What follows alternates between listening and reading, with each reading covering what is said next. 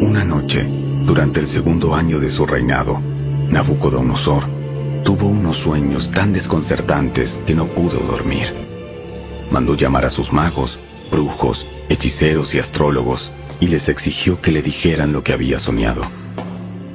He tenido un sueño que me desconcierta mucho y necesito saber lo que significa. ¡Que, viva, el rey! Cuéntenos el sueño y nosotros le diremos lo que significa. Pero el rey respondió a los astrólogos. Les digo esto en serio. Si no me dicen lo que soñé y lo que significa, los haré despedazar y convertiré sus casas en un montón de escombros. Pero si me dicen lo que soñé y lo que significa, les daré muchos honores y regalos maravillosos. Solo díganme lo que soñé y lo que significa. Por favor, Su Majestad. Por favor, Su Majestad. Cuéntenos el sueño y nosotros le diremos lo que significa. Ya sé lo que proponen. Están tratando de ganar tiempo porque saben que hablo en serio cuando digo, si no me cuentan el sueño, están condenados. Así que han conspirado para mentirme, con la esperanza de que yo cambie de idea. Pero cuéntenme el sueño, y entonces sabré que pueden explicarme el significado. No hay nadie en la tierra que pueda decirle al rey lo que soñó. Y ningún rey, por grande y poderoso que sea, jamás pidió tal cosa a sus magos, brujos o astrólogos. Es imposible cumplir con lo que el rey exige. Nadie, excepto los dioses, puede contar al rey su sueño. Pero los dioses no habitan entre los hombres. Cuando el rey oyó esto, se enfureció y mandó a ejecutar a todos los sabios de Babilonia. Entonces, debido al decreto del rey, enviaron hombres para que encontraran y mataran a Daniel y a sus amigos. Cuando Arioc, comandante de la Guardia Real, llegó a matarlos, Daniel manejó la situación con sabiduría y discreción. Le preguntó a Arioc, ¿por qué emitió el rey un decreto tan severo? Entonces Arioc le contó todo lo que había sucedido. Daniel fue a ver al rey inmediatamente y le pidió más tiempo para comunicarle el significado del sueño. Entonces Daniel regresó a casa y contó a sus amigos, Ananías, Misael y Azarías, lo que había ocurrido. Les rogó que pidieran al Dios del cielo que tuviera misericordia y les revelara el secreto para que no fueran ejecutados junto con los demás sabios de Babilonia. Esa noche, el misterio le fue revelado a Daniel en una visión.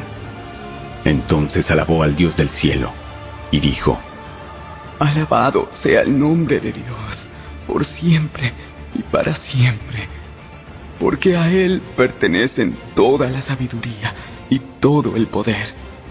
Él controla el curso de los sucesos del mundo. Él quita reyes y pone otros reyes. Él da sabiduría a los sabios y conocimiento a los estudiosos. Él revela cosas profundas y misteriosas y conoce lo que se oculta en la oscuridad, aunque Él está rodeado de luz. Te agradezco y te alabo, Dios de mis antepasados, porque me has dado sabiduría y fortaleza. Me revelaste lo que te pedimos y nos diste a conocer lo que el rey exigía. Entonces, Daniel fue a ver a Arioc. No mates a los sabios. Llévame ante el rey y le explicaré el significado de su sueño.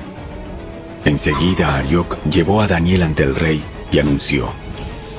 Entre los cautivos de Judá encontré a uno que le dirá al rey el significado de su sueño. ¿Es cierto? ¿Puedes decirme lo que soñé y lo que mi sueño significa? No hay sabios, brujos, magos ni adivinos que puedan dar a conocer el secreto del rey.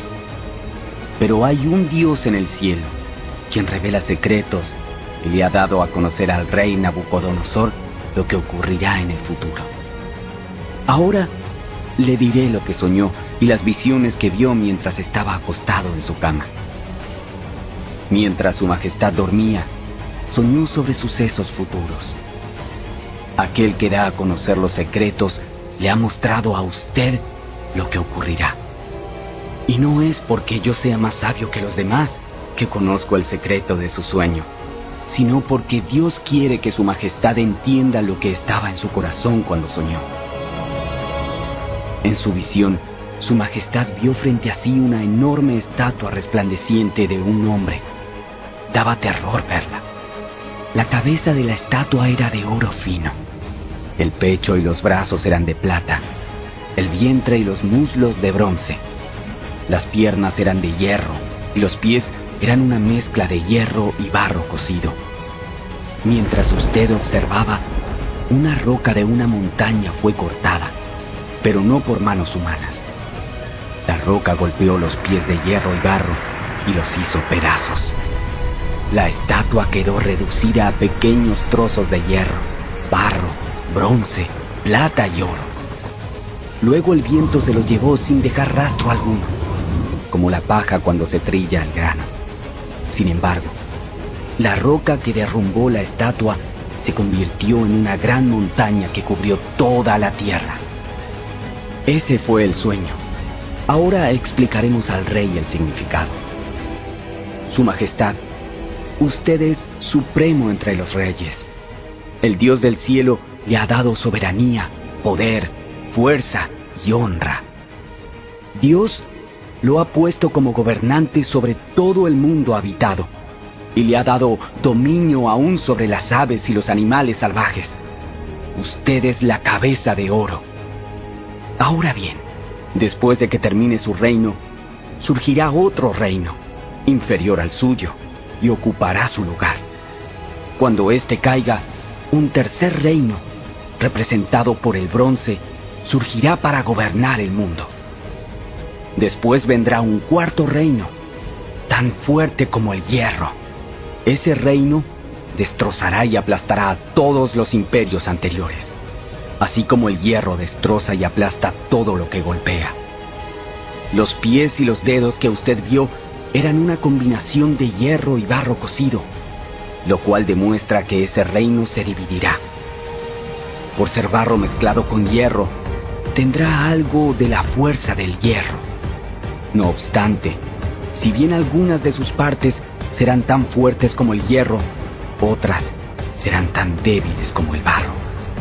Esta mezcla de hierro con barro también demuestra que esos reinos procurarán fortalecerse al hacer alianzas matrimoniales, pero no se mantendrán unidos, así como el hierro y el barro no se mezclan. Durante los gobiernos de esos reyes, el Dios del cielo establecerá un reino que jamás será destruido o conquistado. Aplastará por completo a esos reinos y permanecerá para siempre. Ese es el significado de la roca cortada de la montaña, aunque no por manos humanas, que hizo pedazos la estatua de hierro, bronce, barro, plata y oro. El gran Dios estaba mostrando al rey lo que ocurrirá en el futuro.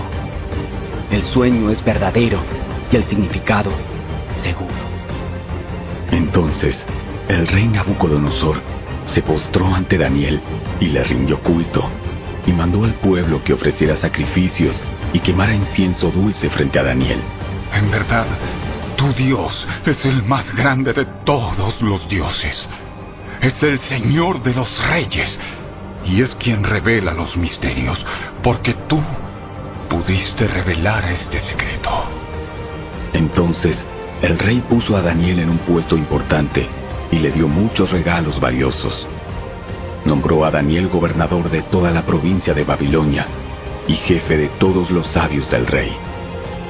A petición de Daniel, el rey puso a Sadrach, Mesach y Abednego a cargo de todos los asuntos de la provincia de Babilonia, mientras Daniel permaneció en la corte del rey.